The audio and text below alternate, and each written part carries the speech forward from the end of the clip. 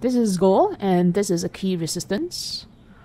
The old technique is going to trade on a breakout, but this is not what we are looking at today.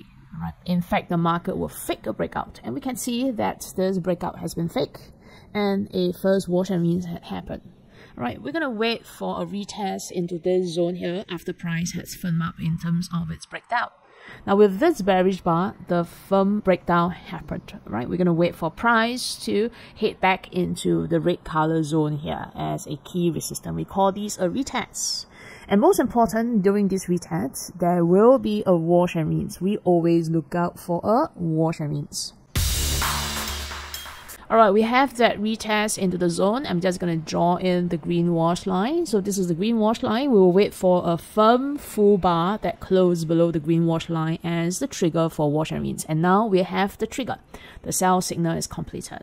We're going to aim for two regions to take profit. The first region will be here. So that will be the first take profit region. And the second take profit region will be the cluster of prices here.